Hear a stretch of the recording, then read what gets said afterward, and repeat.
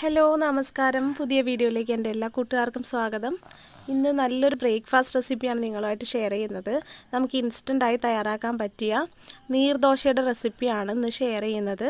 വായലിട്ടാൽ തന്നെ അലിഞ്ഞു പോകുന്ന നൈസായിട്ടുള്ളൊരു ദോശയാണത്. ഇത് നമ്മൾ മാവ് അരച്ച ഉടനെ തന്നെയാണ് ഉണ്ടാക്കുന്നത്.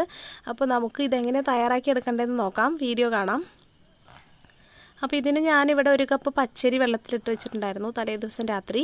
അപ്പോൾ അത് നമ്മൾ പിറ്റേ ദിവസം രാവിലെ നന്നായിട്ട് കഴുകി വൃത്തിയാക്കി എടുത്തതാണിത്. അപ്പോൾ നമ്മൾ ബ്രേക്ക്ഫാസ്റ്റിന് തയ്യാറാക്കുന്നതെങ്കിൽ ഓവർനൈറ്റ് സോക്ക് ചെയ്യാനായിട്ട് വെക്കണം. പിന്നെ ഒരു കപ്പ് തേങ്ങ ചിരണ്ടിയത് എടുത്തിട്ടുണ്ട്. അപ്പോൾ ഒരു കപ്പയ്ക്ക് ഒരു കപ്പ് തേങ്ങ എടുത്തിട്ടുണ്ട്. അപ്പോൾ നല്ല ടേസ്റ്റ് ആയിരിക്കും. തേങ്ങയുടെ അളവ് കൂടുമ്പോൾ നല്ല ടേസ്റ്റ് ആയിരിക്കും. പിന്നെ ഇത് നിങ്ങൾക്ക് തേങ്ങാപ്പാലിലും അരച്ചെടുക്കാവുന്നതാണ് അപ്പോൾ ഇതെല്ലാം കൂടി നമുക്ക് ആദ്യം മിക്സിയുടെ ജാറിലേക്ക് ചേർത്ത് കൊടുക്കാം.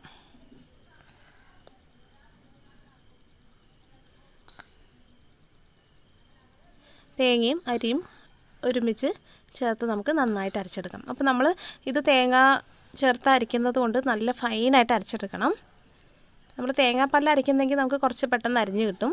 തേങ്ങ ചേർക്കുമ്പോൾ കുറച്ചധികം സമയം നന്നായിട്ട് തന്നെ അരച്ചെടുക്കണം. അപ്പോൾ കുറച്ച് വെള്ളം ചേർത്തിട്ട് ആദ്യം അരയ്ക്കുക. നമ്മൾ കയ്യിലെടുത്ത് നോക്കുമ്പോൾ ഒട്ടും തരി പാടില്ല. അത്രയും സോഫ്റ്റായിട്ട് അരയ്ക്കണം. ഇനി നമുക്ക് ഇതിനെ ഒരു ബൗളിലേക്ക് ഒഴിച്ചു കൊടുക്കാം.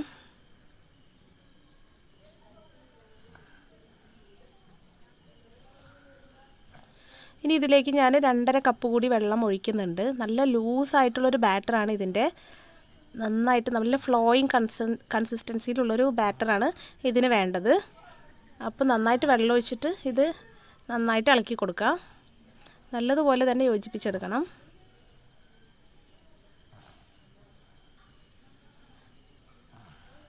അപ്പോൾ നമ്മുടെ ബാറ്റർ റെഡിയായി. ഇതിലേക്ക് നമുക്ക് ഉപ്പ് ചേർത്ത് കൊടുക്കണം. അപ്പോൾ ആവശ്യത്തിനുള്ള ഉപ്പും കൂടി ചേർത്ത് കൊടുത്തിട്ടുണ്ട്. ഇനി നമ്മളിതിലേക്ക് കുറച്ച് പഞ്ചസാരയും കൂടി ചേർക്കുന്നുണ്ട് കേട്ടോ. പഞ്ചസാര ചേർക്കുമ്പോൾ നല്ലൊരു ടേസ്റ്റാണ് ഇതിന്. തേങ്ങാപ്പാലിന്റെ ചെറിയൊരു മധുരം ഉണ്ടെങ്കിലും കുറച്ച് പഞ്ചസാരയും കൂടി ചേർക്കുമ്പോൾ നല്ല ടേസ്റ്റായിരിക്കും നമുക്ക് കറിയില്ലാതെ കൂടി കഴിക്കാൻ പറ്റും. ഇതെല്ലാം ചേർത്തിട്ട് നന്നായിട്ട് ഒന്നുകൂടി ഇളക്കി യോജിപ്പിക്കുക. അപ്പം നിങ്ങൾ ഓരോ തവണ അപ്പം ഉണ്ടാക്കുമ്പോഴും ഈ മാവ് ഇതുപോലെ ഇളക്കി വേണം എടുക്കാനായിട്ട്. എന്താണെന്ന് വെച്ചാൽ ഇത് ഇതുപോലെ ലൂസായതുകൊണ്ട് തന്നെ തരികൾ അടിയിലിങ്ങനെ അടിഞ്ഞുകൂടാൻ വെള്ളം തെളിയാനായിട്ട് സാധ്യതയുണ്ട്. അതുകൊണ്ട് എപ്പോഴും ഇങ്ങനെ ഇളക്കി യോജിപ്പിച്ച് തന്നെ എടുക്കണം. പിന്നെ നമ്മളിത് തയ്യാറാക്കുന്നത് അപ്പച്ചട്ടിയിലാണ്. അതല്ലാതെ നിങ്ങൾക്ക് സൈഡ് തടയുള്ള ഫ്രൈയിങ് പാൻ ഉണ്ടെങ്കിൽ അതെടുക്കാം നമുക്ക് ദോശ തവ എടുത്താലും മതി. അപ്പോൾ ഞാൻ അപ്പച്ചട്ടിയിൽ അപ്പം ഉണ്ടാക്കുന്ന പോലെ നന്നായി ചൂടായതിന് ശേഷം ബാറ്റർ ഒഴിച്ചു കൊടുത്തു. ഇനി നമ്മളിത് ഇതുപോലെ ഒന്ന് ചുറ്റിച്ചിട്ട് ബാക്കിയുള്ള മാവിനെ ദേ ഇതുപോലെ ആ പാത്രത്തിലേക്ക് തന്നെ ഒഴിച്ചു കൊടുക്കുകയാണ്. അപ്പോൾ നമുക്ക് നല്ല എല്ലാ ഭാഗവും ഒരുപോലെ ഈവൻ ആയിട്ടുള്ള നീർദോശ കിട്ടും. ഇനി നമ്മൾ ഇത് പാത്രത്തിൽ നിന്നൊക്കെ വിട്ട് വരും. ആ സമയത്ത് നമുക്ക് ഇതിലേക്ക് കുറച്ച് നെയ്യൊന്ന് ബ്രഷ് ചെയ്ത് കൊടുക്കാം. സൈഡൊക്കെ തനിയെ വിട്ട് വരും. അപ്പോൾ അതേ കണ്ടില്ലേ വിട്ട് വന്നിട്ടുണ്ട്. ഇനി നമുക്കിതൊന്ന് മടക്കിയിട്ട് ഇതിൽ തന്നെ ഇതിൽ തന്നെ ഒന്ന് മടക്കിയെടുക്കാൻ പറ്റും. ശരിക്കും കണ്ടില്ലേ തൂവാല പോലെ തന്നെ സോഫ്റ്റായിട്ട് ഇരിക്കുന്നുണ്ട്. അപ്പോൾ ഇത് നമുക്ക് ഇനി മാറ്റി വെക്കാം പ്ലേറ്റിലേക്ക് മാറ്റി കൊടുക്കാം